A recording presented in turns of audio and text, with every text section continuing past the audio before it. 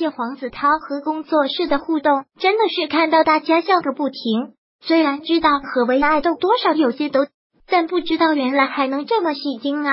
比如工作室给发了一条微博，立马就要求要置顶，官微也是立马就给安排上了。看样子工作室真的是很宠了。本以为置顶完了也就完了，没想到黄子韬一直在评论区浪来浪去。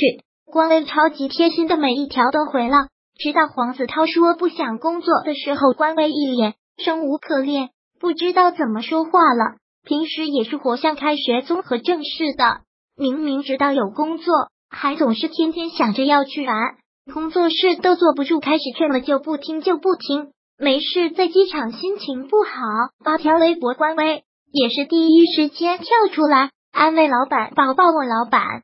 就是发一个都会立马回复在呢，超级小媳妇呢。日常也是不管怎么都比动态官博都会爬出来在呢在呢，这是无论老板有什么动态都第一时间跟进的节奏啊。包括黄子韬发了一条微博，说自己脏了被虐了，也是同时会有官微和工作室站出来发微博安慰。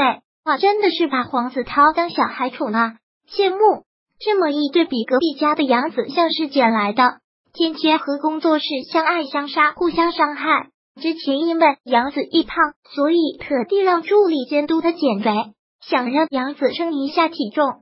结果呢，拒绝到脸都扭曲了，被助理拖着想放到体重秤上，眼看要上秤了，撒泼打滚就不上去，还把体重秤扔远了，看得出来是超级抵触的了。亲自上传了视频，还配自体重秤什么的都是假的。评论区一帮好友慰问，最逗的要数奖金，说就是因为电子秤不能调体重才不要的。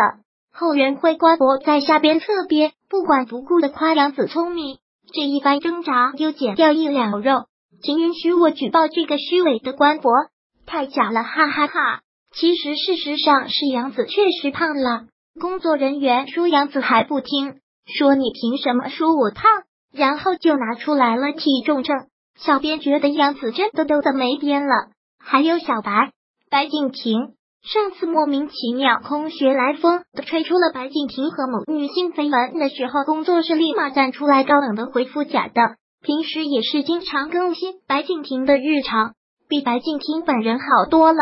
工作室真的是对白敬亭爱的深沉呐。好了，今天先盘点到这里，大家还知道哪些和工作室互动起来？特别好玩的明星呢，快来评论区分享吧！